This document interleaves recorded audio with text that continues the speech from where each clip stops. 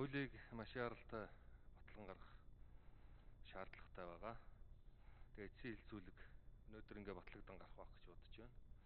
Уг нь бол энэ эрүүл мэндийн даатгалын сангаас энэ ковидор өвчлсөн энэ эрүүл мэндийн даатгал төлөгчдийнхөө асуудлыг бол шийдээд явчих боломжийг нэлээд судалж байгаа шийдэх ёстой байсан. Тэгээд өөр хуулиар зохицуулалт хийхээр болж явах шиг байна.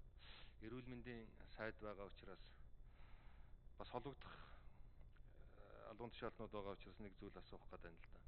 Засгийн газараас өнөөдөр эрүүл мэндийн салбарын улаан бүсэд ажиллаж байгаа эм чимлэгийн ажилтнуудад одоо нэг удаагийн мөнгөн урамшуулал мөн ковидын хугацаанд цалин хөлсийг 50% нэмэгдүүлэх юм шийдвэр гарсан гэж мэдээлэл авсан. Тэгэхээр энэ ковидын хугацаа бол хизээ дуусахыг бол мэдэхгүй байгаа.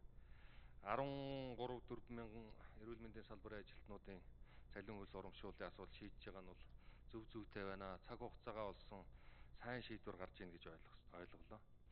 Энэнтэй зэрэгцээд энэ улаан бүсэд ажиллаж байгаа ер нь энэ ковидын гол цэгүүдээр ажиллаж байгаа энэ онцгой байдлын албан хаагчид, мэрэгжлийн хяналтын ерөнхий газрын мэрэгжлийн хяналтын байгууллагын албан хаагчид, за цагдаагийн байгууллагын албан хаагчид гээд яг адилхан хүнд нөхцөл энэ өвөлжин хаваржин л гадаа нар салхинд халуун хүйтэнд ингээд зогсож байгаа энэ олон албан хаагчдын ямыг цуг оруулаад шийдвүлэх боломж байгаагүй мó. Нэг 5000 орчим хүний албан хаагчийн асуудал байгаа юм билээ л дээ. Тэгэхээр энэ дээр засгийн газар дээр бас тодорхой шийдвэр юмнууд ярьсан юм байгаа юу? Маш хүнд нөхцөлд ажиллалаа шүү дээ. Эрүүл мэндийн салбарынхан маань гिचээж байгаа, ажиллаж байгаа. Энэ бол зөв зүйтэй Өлөгч үнэмлэх юм уу? Тэгэхээр энэ засгийн газар дээр энэ асуудал ярихад энэ харьяа байгууллагын дарга нар онцгойгийн мэрэгжлийн хяналтын цагдаагийн байгууллагын энэ улаан бүсэд ажиллаж байгаа онцгой бүсэд ажиллаж байгаа албан хаагчдын энэ цалин хөлс нэмэгдэл урамшуул нийгмийн баталгааны асуудлыг ярьсан юм байна уу? Энэ дээр одоо тодорхой арга хэмжээ авахар байна уу, яахаар байна гэдэг ийм зүйлийг асуугаад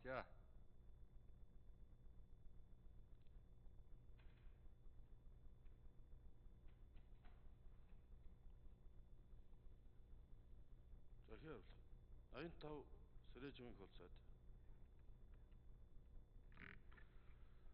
За Баатар үлэг гишүүний асуултанд хариулъя. За мэдээж цар тахлын үед ганцхан эрүүл мэндийн салбар ажиллаагүй. За энэ хариу арга хэмжээнд ажиллаж байгаа онцгой комисс, мэрэгжлийн хяналт гэх мэтчлэн хууль хүчний байгууллага гээд маш олон салбар энэ ч хамтран ажиллаж байгаа. Тэгвэл энэ улсын засгийн газрын хурал дээр бол энэ бүх асуудлууд яригдсан. Гэхдээ эхний ээлжинд ялангуяа энэ эрүүл мэндийн салбар бүр тэргүүн боронтод ажиллаж байгаа эхний ээлжинд энэ хүмүүстэй ямар ч гэсэн энэ урамшууллыг олгоё гэсэн шийдвэр гарсан учраас энэ удаагийн урамшуул олгогдож байгаа.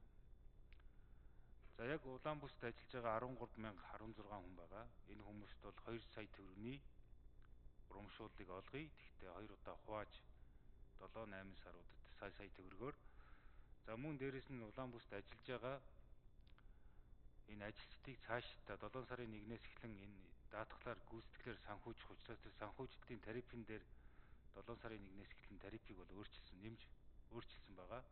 Энэ дээр цалингийн 50% нэмэгдэл өртгийн жинг бодож тусгаж өгсөн байна.